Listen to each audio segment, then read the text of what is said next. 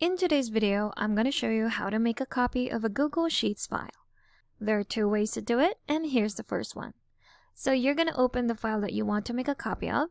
It's already open. Let's go to File, and you'll see here, Make a Copy. Click on that.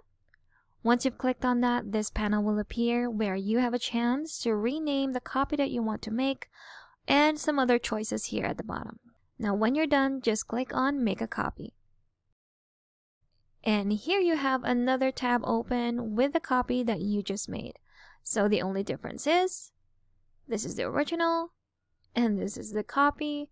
So the only difference is with the title. That's the first way to do it. Let's go to the second one. So let's go to your drive. So in your drive, you'll see the file that you want to make a copy of. Just go to the three dots right here. Click on make a copy or you can do the keyboard shortcut which is copy and paste, control C and control V. But we'll just click on this and it has made a copy of the file that you wanted. And that's how to make a copy of a Google Sheets file. Thanks for watching.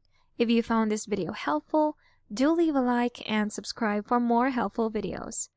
See you on the next one.